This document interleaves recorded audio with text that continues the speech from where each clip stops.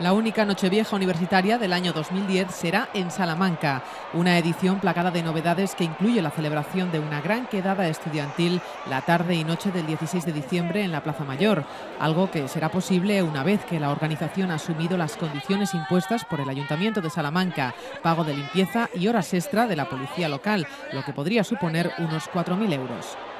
Ese encuentro universitario eh, ya ha sido autorizado por el Ayuntamiento de Salamanca dado que nosotros hemos cumplido los requisitos que nos ha exigido el ayuntamiento, que nos han presentado, nos han parecido razonables, razonables y se ha cometido este,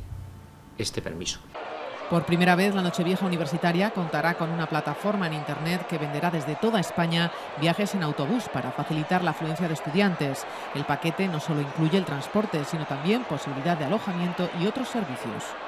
Ávila, Zamora, donde sea, en el punto de España que sea, pueda coger su autobús, pueda comprar un paquete e incluso pueda dormir esa noche, facilitando así que todos los puntos en Salamanca, tanto son los transportes, taxis,